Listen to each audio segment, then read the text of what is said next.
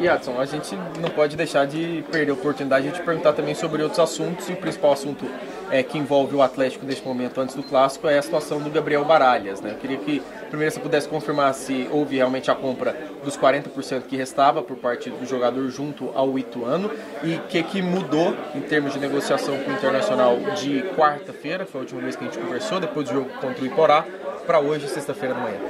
Olha, é, é, uma coisa não tem nada a ver com a outra. O, o Baralhas foi adquirido para o Atlético, que é um jogador de muito potencial, tem propostas de fora do país, tem proposta do Inter, né?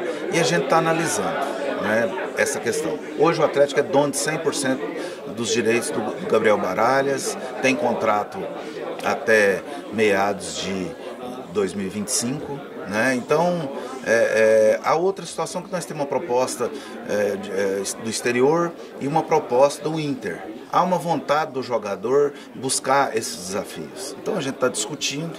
Eu acredito que hoje pode possa ter essa definição. Se não tiver, o jogador vai continuar com toda a tranquilidade possível. Adson, essa, essa, uma, essa possível venda do Gabriel Baralhas, em termos de número, seria uma negociação maior do que o Wellington Rato, por exemplo?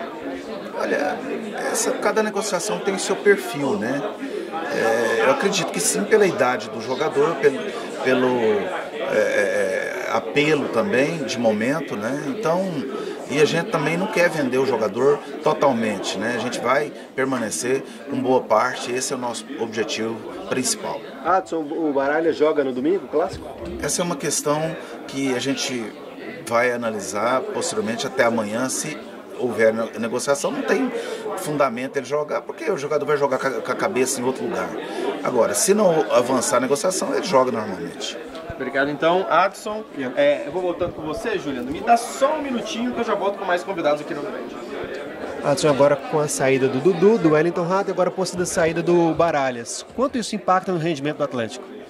Não, o rendimento técnico a gente sempre busca opções, né? A gente não vai deixar o clube definhado tecnicamente falando. As saídas são necessárias porque a gente também precisa de investimento financeiro. São jogadores que eu comprei muito barato dentro da nossa estratégia. O clube está tendo muito lucro com isso para poder também ter possibilidade de fazer investimento para buscar o, o, o, a Série A novamente.